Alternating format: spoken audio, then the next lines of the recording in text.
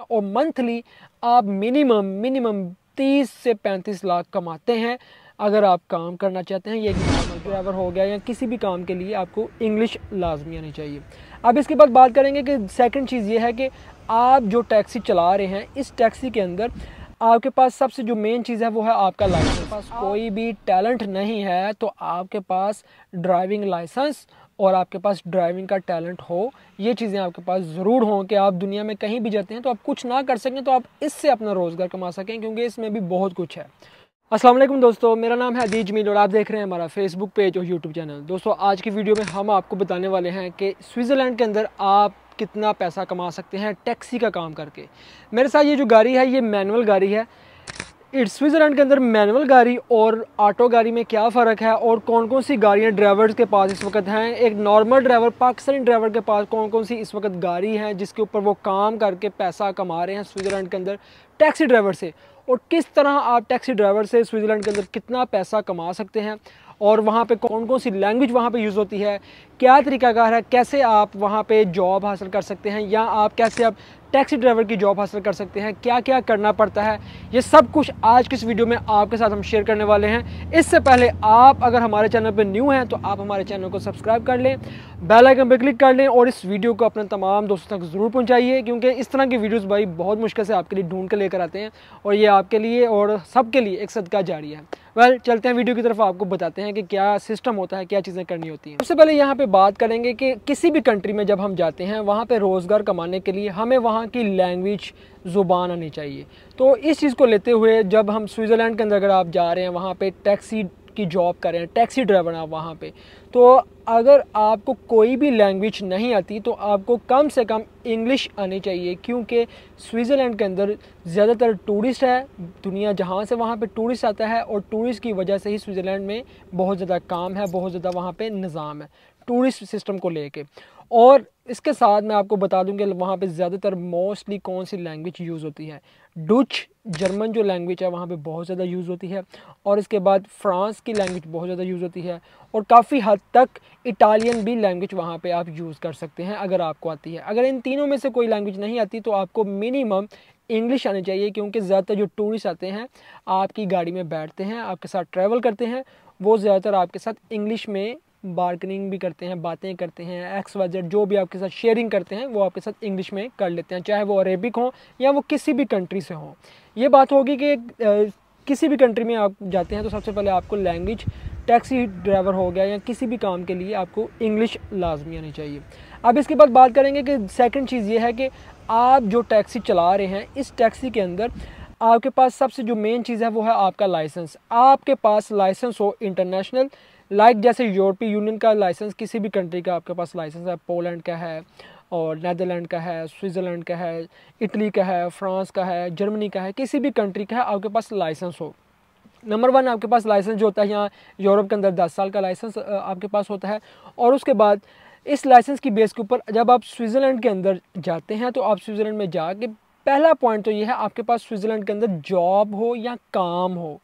काम हो या वर्क वीज़ा हो या आपके पास वहाँ पे स्विट्ज़रलैंड के नॉर्मल पेपर हों, जो कि आपके पास पेपर हो सकते हैं स्विट्ज़रलैंड के दो साल के भी हो सकते हैं, पाँच साल के भी हो सकते हैं, और दस साल के भी हो सकते हैं, और फॉर पेपर भी हो सकते हैं।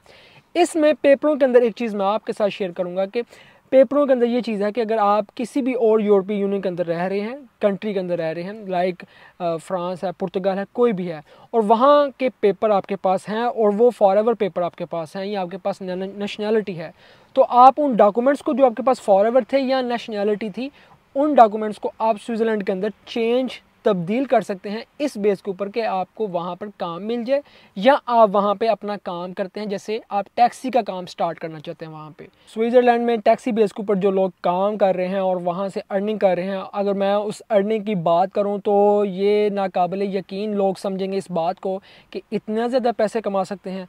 मैं अगर आपको राउंड अबाउट बताऊँ तो सीज़न के अंदर जैसे ही सीज़न स्टार्ट होता है विंटर ख़त्म होता है तो सीज़न स्टार्ट हो जाता है और टूरिस्ट बहुत ज़्यादा वहाँ पे आने लग पड़ता है। और इस टूरिस्ट की वजह से आप मंथली अगर मैं बात करूँ, आप मंथली नौ से दस हज़ार यूरो तक कमा सकते हैं। नॉर्मल ये बात मैं आपको बता रहा हूँ, इतने ज़्यादा अमाउंट है। अब इसके साथ मैं आपको प्लस पॉइंट बताने लगा हूँ कि रियलिटी के अंदर लोग हमारे क्या करते हैं। मैं इन चीज़ों से बहुत ज़्यादा टच में हूँ, बहुत ज़्यादा करीब हूँ। मैंने रियलिटी देखी है तो मैं आपको वो बात बता रहा हूँ कि हमारे जो अपने हैं अज़ीज़ वहाँ पे स्विट्ज़रलैंड के अंदर मूव कर चुके हैं, वहाँ पे रह रहे हैं। उन्होंने क्या किया है? उन्होंने एक टैक्सी की जगह नहीं तीन से चार चार टैक्सियाँ रखी हुई हैं। इसमें ये चीज़ होती है कि जब आप वहाँ पे लोकल रह रहे होते हैं तो आपने वहाँ पे एक एजेंसी ओपन करनी होती है। लाइक आपकी एक एजेंसी है, आप उस एजेंसी को ओपन करते हैं, क्योंकि इटालियन के अंदर कुछ और कहते हैं।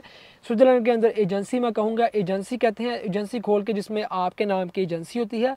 और उस एजेंसी के अंदर आप मिनिमम आठ, दस, बारह, पंद्रह जितनी भी आप रखना चाहें, टैक्सियाँ रख सकते हैं।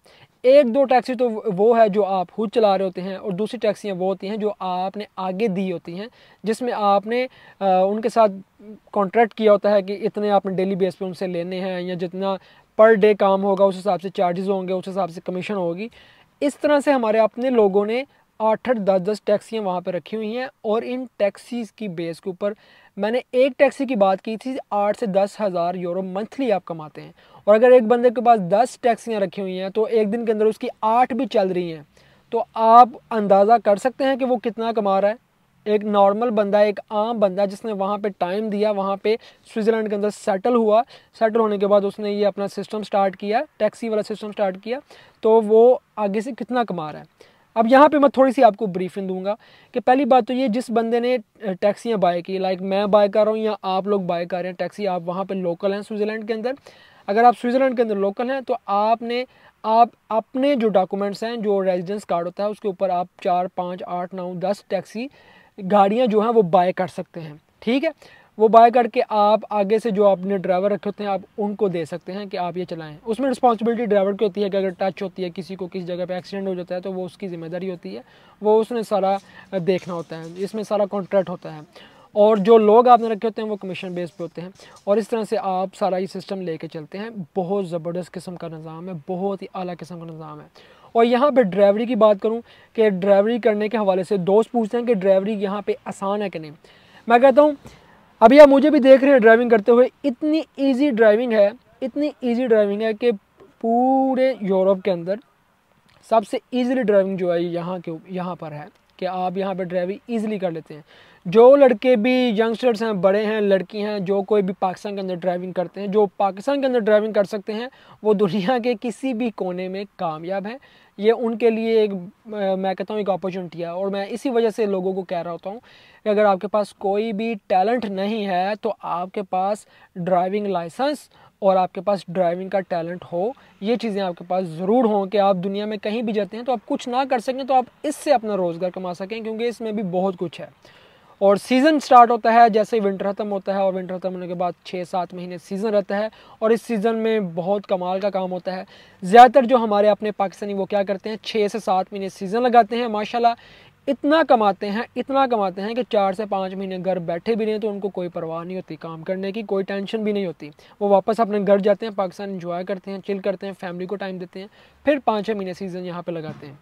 वेल well, ये थी आज की वीडियो और इस वीडियो में होप्स हो कि मैंने आपको हर बात क्लियर करने की कोशिश की है कि कैसे आप लाइसेंस हासिल करते हैं यानी कि आप यूरोप का कोई भी आपके पास लाइसेंस होता है इंटरनेशनल ज़ाहिर आपका यूरोप यूरोप का लाइसेंस है तो वो इंटरनेशनल ही होगा।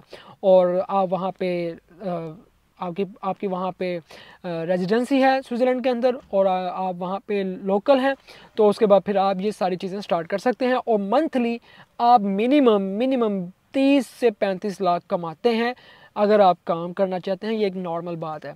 और अगर मैं आपकी बात करूँ तो आप कहेंगे कि शायद मैं झूठ बोल रहा हूँ, लेकिन मेरी वीडियो में अक्सर झूठ नहीं होता।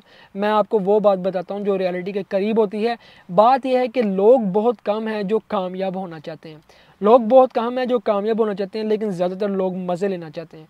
तो या जो लोग कामयाब होना चाहते हैं, उनको सबसे पहले खुद को तकलीफ़ देनी पड़ती है। अपने आप को दर्द, जिसम को दर्द देना पड़ता है, अपनी रातों को मारना पड़ता है।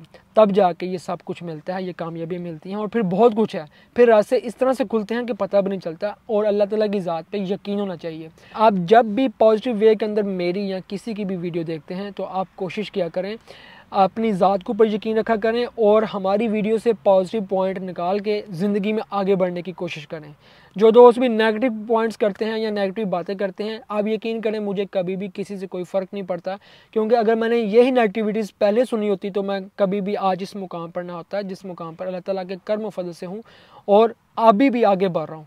ये सब चीज़ें हैं कि अल्लाह ताला ये दो कान दिए हैं कि बुरी बात को यहाँ से सुन के यहाँ से निकाल दो और अच्छी बात को यहाँ पर और दिल में रख के आगे बढ़ो।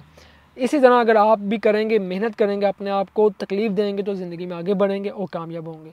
दुआओं में याद रखिएगा। इन मिलते हैं हम आपको फिर किसी वीडियो में। तब तक मुझे दें इजाज़त। अल्लाह हाफिज़।